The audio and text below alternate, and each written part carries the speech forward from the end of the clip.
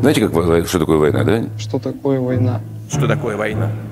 Для нас война – это что-то страшное, но обязательно героическое и праведное.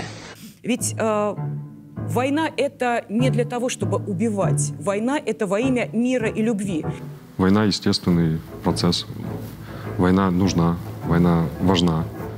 Война не есть самоцель, но э, война как средство, как путь к развитию. На самом деле человек создан для войны, а не для мира. Война, сука, проявляет людей. Настолько все лишнее слетает. Но мир куется войной. М- Мужики всегда живут войной.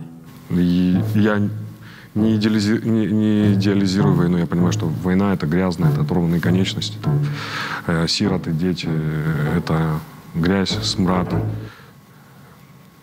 Но при этом только так мы можем существовать.